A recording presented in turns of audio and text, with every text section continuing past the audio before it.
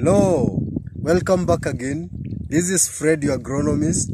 Uh, we are still learning, still continuing with the farm progress. Like I've always assured you and promised you, anything new, anything that I see, anything that I do, I'll always and keep updating you because it's a learning process. I'm learning and I continue educating you.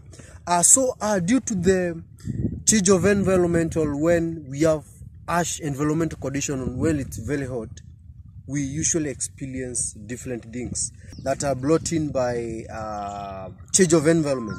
And uh, among them is a fallen pest a lot of pest and a lot of diseases.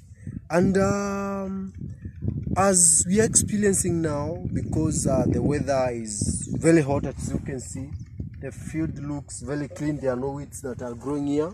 There are no weeds that are growing. It's because we haven't received rain for quite a good time. Have you seen this in your field? The yellowing of uh, of uh, watermelon vines. Have you seen this?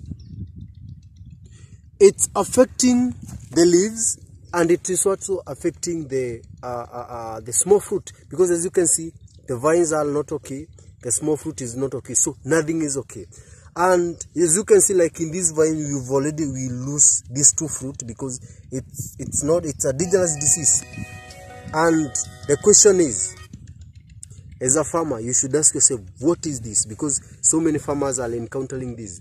This is a tobacco mosaic virus. Now you should know uh, because uh, the first thing uh, like i've always been telling you is to identify the problem and to know the solution. What causes uh, tobacco mosaic virus in watermelon? Uh, tobacco mosaic virus in watermelon is caused by three major pests. One pest is aphids. The second pest is uh, mites red spider mites. And the third pest is uh. All these uh, pests are encouraged by ash environmental condition when it's very hot. And how now do we control this disease or what is the cure for this disease? One, there is no cure for, for viruses. This is like uh, COVID-19, this is like of the viruses, you know, in uh, attacks human being. Now the same happens to, to crops. If it attacks the crops, there is no control of this. Now, what is the solution for this then?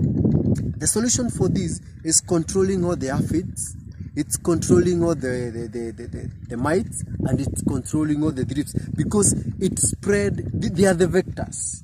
Uh, they are the carriers, they carry the, the, the, the, the disease, and because since they are sucking insect, they come and transmit the disease to the pest.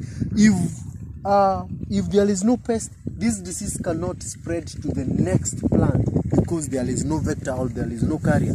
So what you do is to make sure even if the environment is not conducive uh, for the plant, you are supposed to be fighting day and night if possible to make sure you control all these pests because they are the main challenge. This can destroy your whole field within a very short period of time. Like for example now, in this uh, one crop that uh, I've discovered that is attacked by this disease, uh, in order now to make sure I control this because uh, most of the pests that will be feeding on this area, if they transfer to the next plant, they will be carrying with themselves the pest. So I'm going to remove all these vines or I'm going to remove all the vines that are, are already affected uh, so that I can be able to control. These among the control measures to remove all the vines and to make sure the field is free.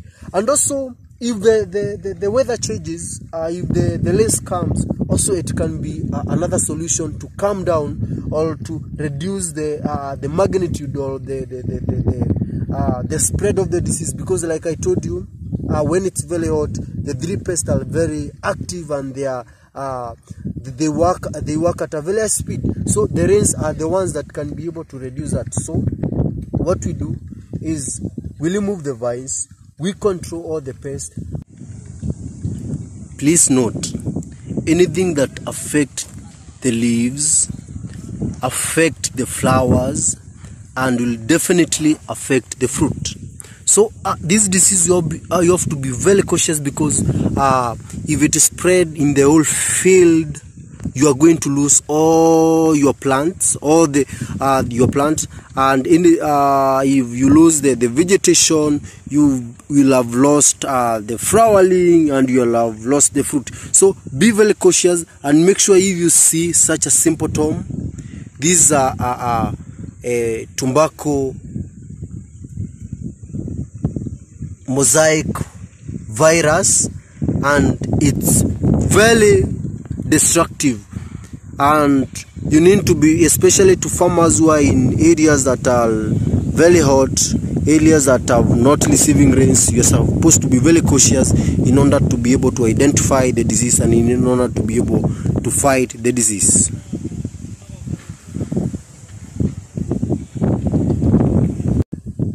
that has been a great session uh, for you. This is one of the great sessions you're supposed to learn. And if you have not joined the channel subscribe to this channel invite other farmers so that we can continue learning together. Bye